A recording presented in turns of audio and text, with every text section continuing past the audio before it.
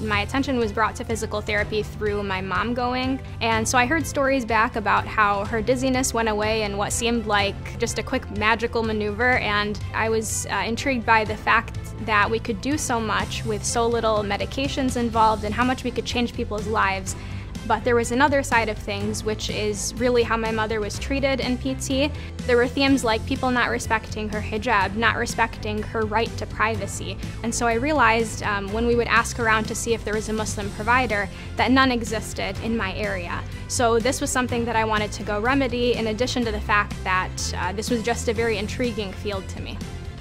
A lot of my work has been to really be a game changer in terms of coming in and saying that I have something to respect. My community has something for you to respect, and I'm going to be the first person to treat it that way.